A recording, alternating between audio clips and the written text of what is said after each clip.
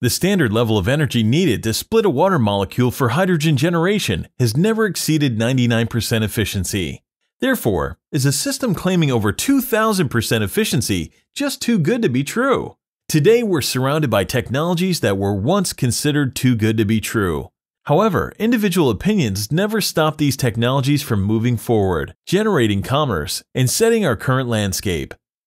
Efficiency is a calculation based on output energy over input energy. Unfortunately, we may be inclined to limit that equation to 100 year old physics.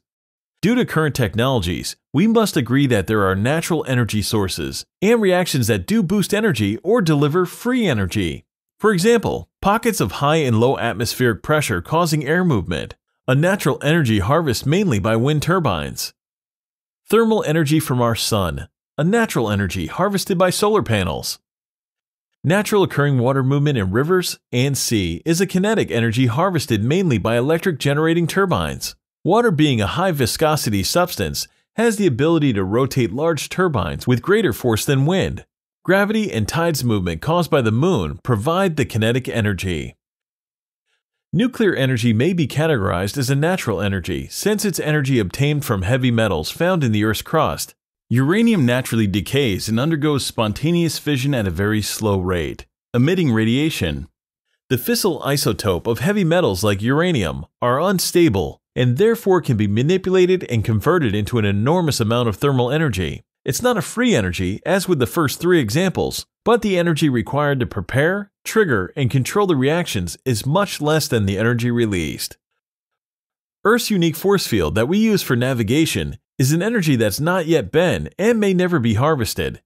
Since most kinetic propelled generators use magnetic fields to generate electricity, man is searching for the potential to harvest energy from the enormous magnetic field surrounding the Earth. Heat Light, sound, and electric are all forms of energy produced in a lightning strike. A single bolt of lightning can release between 1 billion and 10 billion joules with a current intensity of 30,000 to 50,000 amps. On average, the energy equals 145 liters of petrol. Every minute throughout the world, well in excess of 300 lightning strikes occur. That equals a total fueling of 1,000 cars per minute. However, the harvesting and storage of lightning is not a simple task. Galvanic energy is a form of electrochemical energy commonly revealed in batteries. Similar to nuclear, galvanic energy is provided through manipulation of metals found in Earth's crust, but with a uniform reaction. The key to galvanic energy is through dissimilar metals. The chemical reactions in the battery causes an excess buildup of electrons at the anode. Ions are formed and the zinc atoms lose their electrons, which flow out through the circuit to the atoms of the copper electrode. This flow of electrons produce a current that delivers useful power. This process continues until the electrolyte is completely transformed. At that point, the ions stop moving through the electrolyte and the battery dies. All these energy sources are naturally occurring and only require an apparatus to harvest. They are not to be confused with the theory of perpetual motion, where kinetic energy is somehow increased with reaction free mechanical energy. They are in themselves a source of energy, H2 Innovation Lab has utilized one of these energies in a method of efficient hydrogen generation. The method outputs 22 times the input energy purely because of the natural galvanic energy enhancing the process. Just the same as nuclear reactions produces more energy than the energy needed to produce the reactions, and fueled by a source obtained from the natural energy accumulated in metals. Galvanic energy is the boost reaction deployed within this enhanced electrolysis method of hydrogen generation but since the electrolyte is refreshed, this galvanic reaction does not die as do batteries. In conventional electrolysis, one part oxygen and two parts hydrogen is released. However, in this enhanced method, the released oxygen atom bonds with the preconditioned electrolyte to boost the galvanic reaction, increasing the cell voltage. In effect, the oxygen atom turns the cell into a battery to supply its own electricity.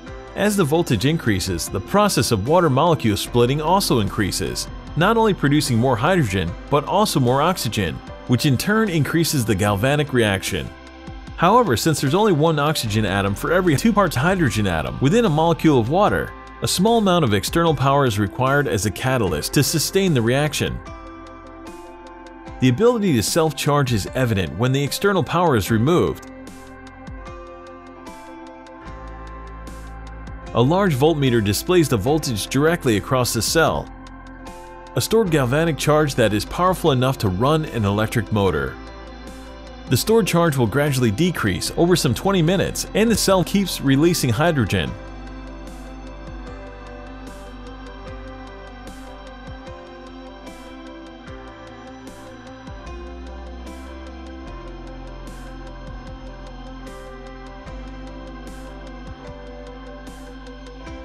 A simple, controllable, and safe energy source with absolutely no side effects to the environment or our health. The fuel is freely delivered by rain, rivers, or the vast sea. It works and it is stable. Producing huge quantity of usable hydrogen gas and powered by its own energy. The ultimate reusable energy source. To learn more, please visit the H2 Innovation Lab website